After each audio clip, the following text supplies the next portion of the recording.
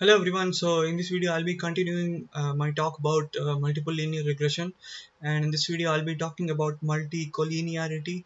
So collinearity is nothing but uh, it is uh, a redundant term uh, which kind of influences the model and inflates the coefficient or parameter estimates that we make and sometimes it can also make it difficult to estimate the correct value of these coefficients.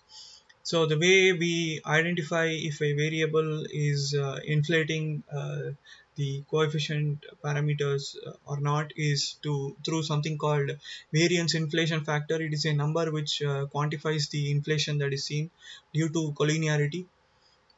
So basically uh, VIF is uh, found by this formula but however the R square here is the way it's found is uh, slightly different. So when we are doing multiple linear regression you have a y response and then you have uh, for example let's say you have three variables and then uh, we do multiple linear regression with these three variables or with their interactions. But in order to identify with the r square the uh, r square value is actually found by uh, choosing one of these variables as a response and uh, trying to fit uh, using the other two values or other two variables as their predictors.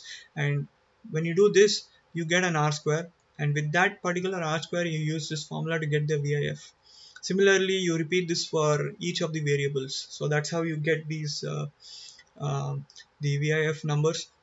And VIF of 1 means there is no collinearity. Usually uh, it can be that um, when your r square is less than 0.9 then your VIF might be 1 but uh, and if it is 0.9 or greater it can be 10 and when it is 0.99 it can be 100 usually when the VIF is between 5 and 10 or higher that means collinearity could be a problem.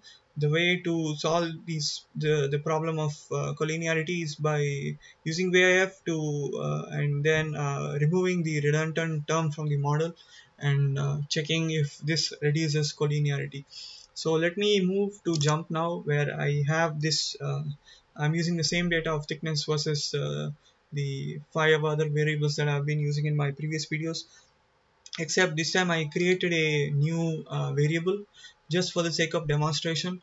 So let me uh, first right click and show the formula as to how I created this. So if you see here um, uh, this uh, val factor variable is actually a function of uh, other variables uh, in in this data set. So it's product of react 1 and react 2 divided by time square.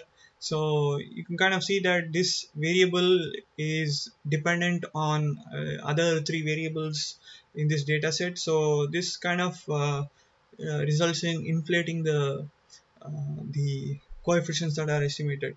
So let's do the multiple linear regression fit and uh, let's take a look at the VIF values. So I'm opening fit model adding uh, thickness as the y response and adding all the uh, variables as uh, my uh, uh, construct model effects and here I'm not considering any interactions at the moment. And then you can see that JMP has done the fitting and now, now uh, let's uh, come to the parameter estimates table to in order to take a look at the VIF values you right click on the table and then go to columns. Uh, oh, uh, I think uh,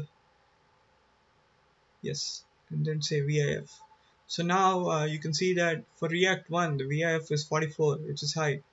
If you set a cutoff of 10 then you can see that for react 1 it's 44 react 2 it's 722 for time it's 88 and the other three are 1 which is good.